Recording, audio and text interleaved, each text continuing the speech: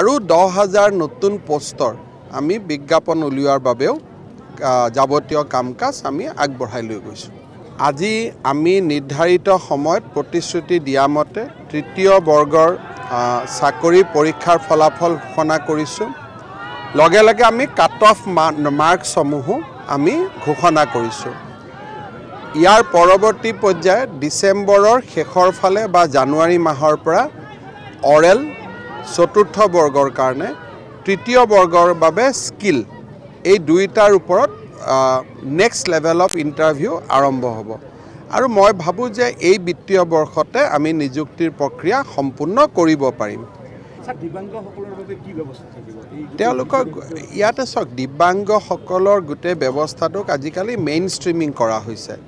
যিকোনো চাকৰি university college সকলো পঢ়া বা চাকৰি সকলোতে তেওঁলোকৰ চাৰি শতাংশ ৰিজাৰ্ভেশ্যন থাকে। ডিচেম্বৰ মাহৰ শেষৰ ফালে আৰু দহ হাজাৰ নতুন পষ্টৰ আমি বিজ্ঞাপন উলিওৱাৰ বাবেও যাৱতীয় কাম কাজ আমি আগবঢ়াই লৈ গৈছোঁ। আজি আমি নিৰ্ধাৰিত সময়ত প্ৰতিশ্ৰুতি দিয়া মতে তৃতীয় বৰ্গৰ চাকৰি পৰীক্ষাৰ ফলাফল ঘোষণা কৰিছোঁ। লগে লগে আমি কাট অফ মাৰ্কছসমূহো আমি ঘোষণা কৰিছোঁ।